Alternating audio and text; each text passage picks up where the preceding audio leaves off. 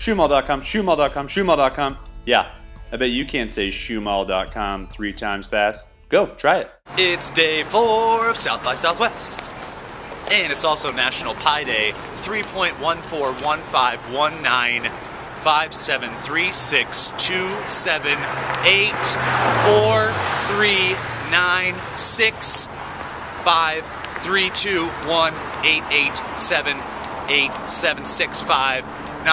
5736278887876590. Yes, all the way to 32 digits. Thank you.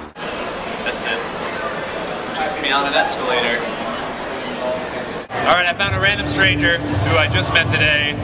He has a fun fact about pi, and uh, could be anything at all. I didn't know. Go for it. I know uh, a few of the digits. It's 3.14159.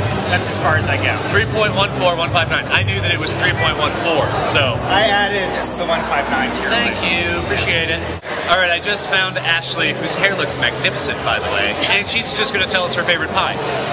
Lemon meringue pie. That's a good one. I'm a cherry pie kind of guy, so. yeah. Another completely random stranger. Actually, I knew this is Chris Keller. Wore shirts for paparazzi last year, but I ran into They him. were awesome. I did run into him. So, Yeah.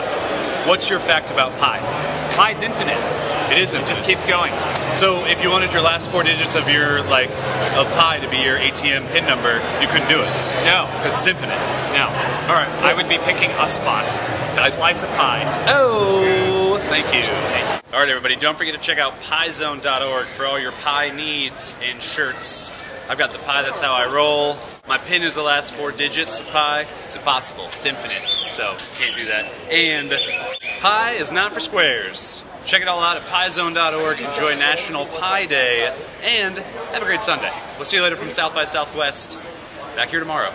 Don't forget, you can save 15% off with promo code IWYS.